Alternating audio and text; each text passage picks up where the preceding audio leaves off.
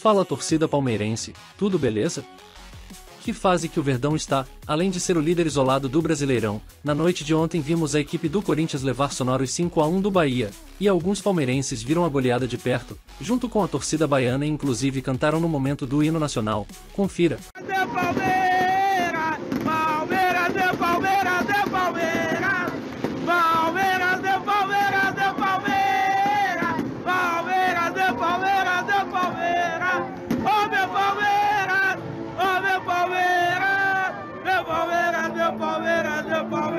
O Palmeiras ES tá em todo lugar, não é mesmo, torcedor?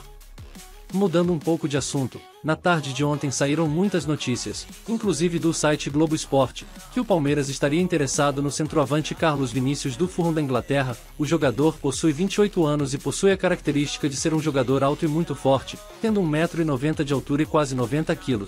O jogador este ano em 7 jogos na Premier League marcou apenas um gol. A ida do Palmeiras atrás do jogador se dá muito por conta da saída do atacante Hendrick no meio do ano que vem, e também da provável saída do Rony que em entrevista à CNN já deixou explícito que está à espera de uma proposta no final do ano para ser negociado. Com isso precisaremos de atacantes de qualidade para suprir estas importantes ausências. E você torcedor, conhece o jogador? Acha que ele é uma substituição à altura para o nosso Verdão?